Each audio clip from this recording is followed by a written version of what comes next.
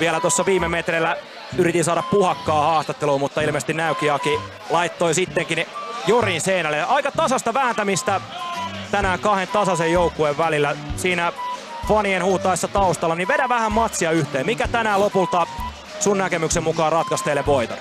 No siis ensinnäkin mä joudun tulla tekemään haastattelu. Meillä on noin junnut, junnut noin ekana ruokajonossa.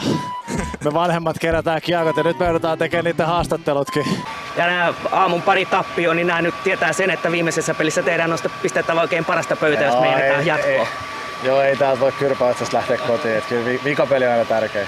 Savinaisen lapaa Lehterä, pikku feikki Ojamäki, Lehterä!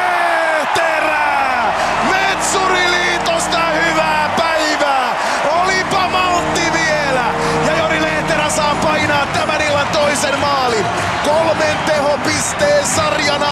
They'll make you the governor of Limpala. Mä oppii tutustua näihin uusiin jätkiin ja tota, ja mä nyt muutama faijan kanssa pelannut samassa joukkueessa.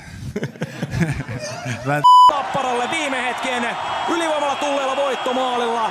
Tunteika silta päättyy vielä pieniin pystypaineihin. Ja tässä ovat vastakkain Niko Huhtanen ja liikapistepörssin kakkonen Jori Lehterä.